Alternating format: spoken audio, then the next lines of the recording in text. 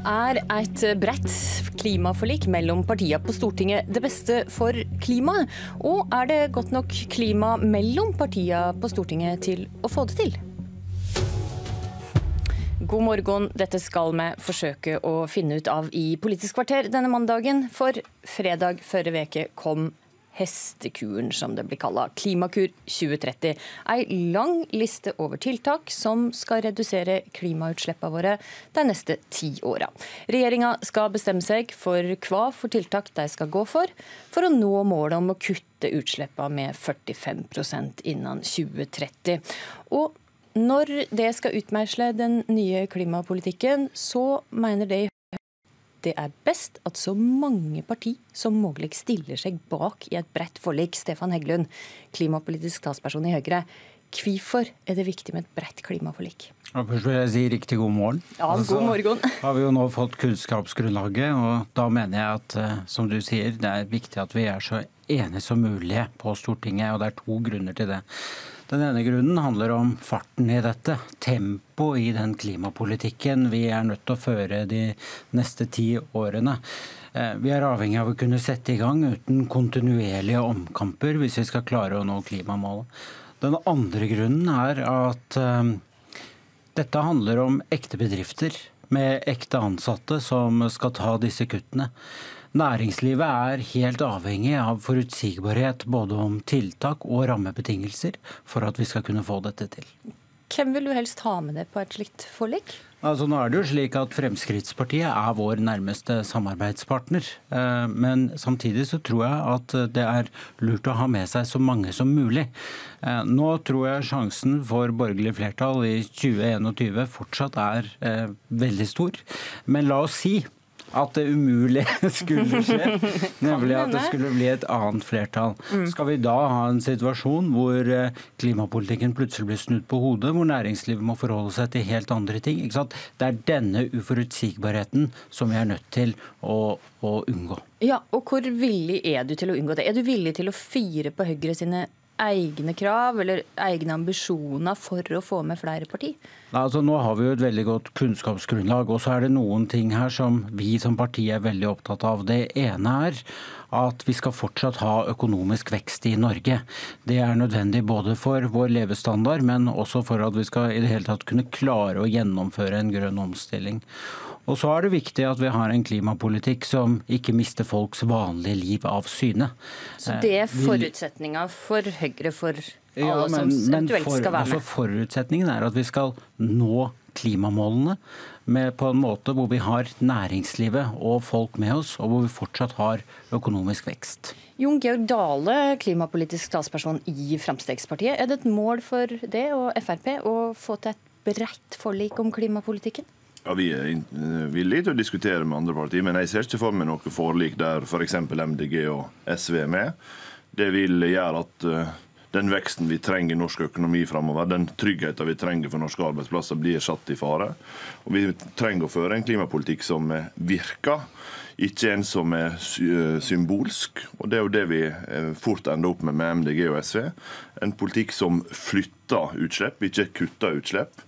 Og det vil svekke konkurransekrafta til norske bedrifter. Det vil sette norske arbeidsplasser i fare. Og jeg tror vi er nødt til å få til et flertall blant parti som tross alt er opptatt av at veksten skal skje i Norge, sånn at vi sikrer vår framtidige velferd. Er du villig til å prøve å få til et forlik hvis da MDG og SV ikke er med, altså med Arbeiderpartiet og Senterpartiet? Ja, Det, det kan godt hende vi kan uh, se på. Det aller viktigste er jo at hvis Det er ikke så viktig? Vi, nei, men det aller viktigste er at hvis uh, Høyre mener det de nå sier, at de skal kutte utslipp og ikke utviklinga, så må de først banke på vår dør. For det er vi som i fellesskap kan få til en politikk som både kombinerer det å faktisk kutte utslipp på et effektivt vis med å sikre norske arbeidsplasser for framtida.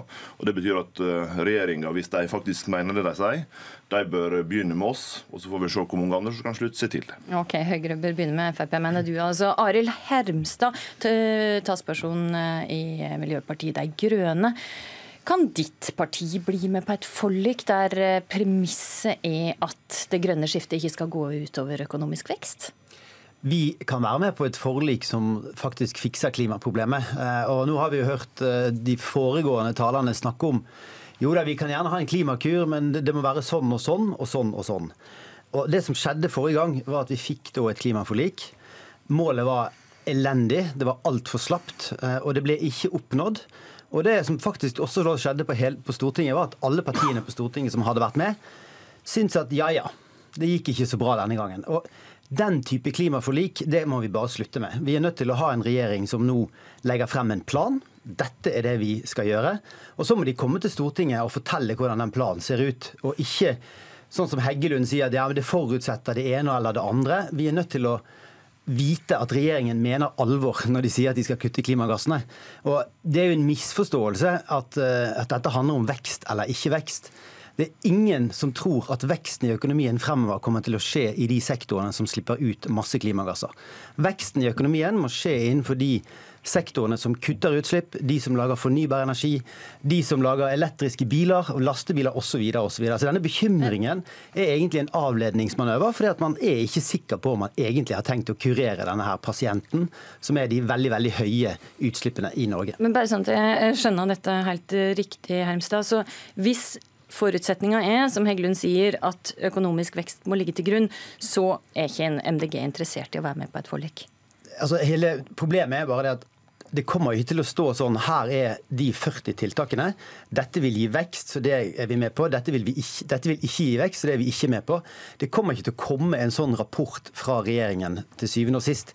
Det som de må gjøre, er å ta stilling til skal de gjøre disse tiltakene eller ikke. Og hvis de sier ja, det skal vi, så vil vi være med og diskutere hvordan vi kan gjøre et forlik enda bedre og enda mer forpliktende. Også hvis det står i det forliket at forutsetninga er økonomisk vekst?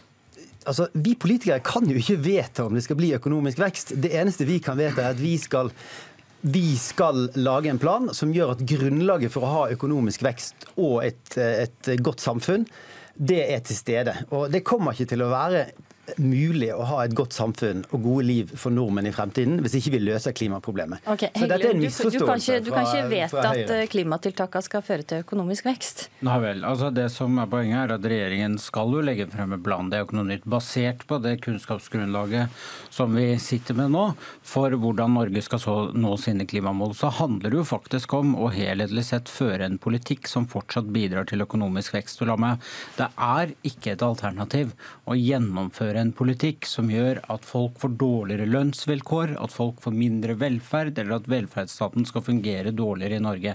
Så det, det er, er viktigere enn klimatiltakene? Så hvis klimatiltakene går utover arbeidsløse eller har, noe, så kan ikke du gjennomføre Poenget er at man har uh, studert hvorvidt det er mulig å fortsatt ha vekst- og klimapolitikk. Det er en rapport som heter The New Climate Economy.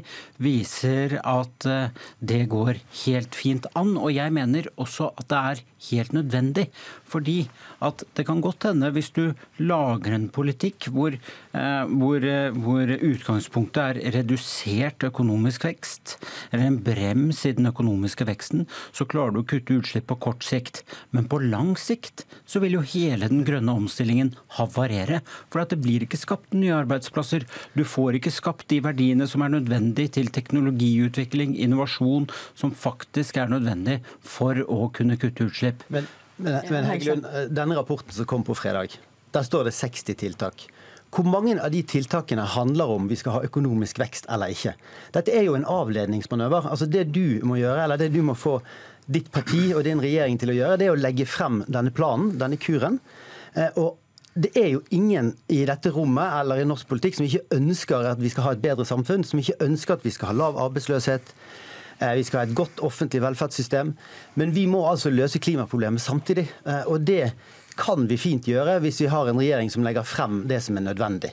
Og, og, og begynne å snakke om at nordmenn eh, er nødt til å ha høyere inntekt, eller vi må ha økt velstandsvekst, og det er viktigere enn klima. Det betyr jo at du sår tvil om du faktisk er interessert i å løse dette problemet, eller om du har egentlig andre agendaer. Nei, det så jeg overhodet ikke tvil om, men eh, som en ansvarlig politiker som også er opptatt av norske interesser, så er jeg faktisk ikke interessert i å gjennomføre en dårlig politikk som gjør at eh, folk i dette landet får eh, dårligere levestandard. Og jeg mener det er et syn man eh, kun kan ha hvis man er vant okay, til å leve på solsiden av det norske samfunnet. Så Heggelund, for det kommer økonomisk vekst først Vent litt, vent litt. For hvis det kommer økonomisk vekst først, så kommer klimatiltakene. Heimstad, for det kommer klimatiltakene først, så kommer økonomisk vekst. Bare for å prøve å rydde litt. Nei, det er en falsk dikotomi. Det er en falsk dikotomi. Altså, vi mener at skal du gjennomføre en god klimapolitikk, så må du også ha økonomisk vekst. Og Jon Georg Dale, det er du enig i. Men det Frp mener jo at en også må kunne bruke de såkalte fleksible mekanismene og kjøpe utslippskutt i andre land. Er det aktuelt for Frp å gå med på et forlik der en planlegger å ta alle kutta hjemme? Jeg tror det er eh, grunnleggende ufornuftig å ta alle kutta hjemme når det er billigere og smartere å ta noen av dem ute. Og Grunnen til det er jo for så vidt godt illustrert av Arild Hermstad og Miljøpartiet De Grønne allerede, og viser jo hvorfor de isolerer seg. Fordi det er veldig mye bra med elbilpolitikken, men han gir ikke så mange arbeidsplasser i Norge. Så hvis ikke vi samtidig som vi klarer å kutte utslippene, også tar vare på våre arbeidsplasser, så er det eneste vi oppnår, det å flytte utslippskutta ut av Norge. De er like store, de skjer bare i andre land.